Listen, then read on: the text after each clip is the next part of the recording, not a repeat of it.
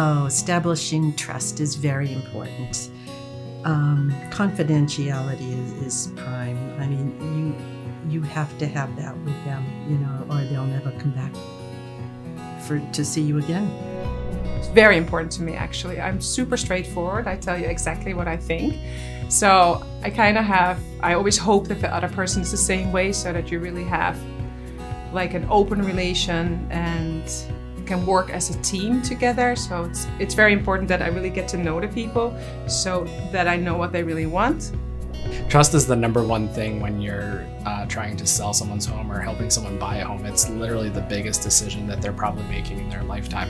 So you have to earn that trust from day one and continue to build that throughout the process so that when they finally get to closing day, they know they've made the right decision. REMAX Realty One, your hometown agency, leading the way.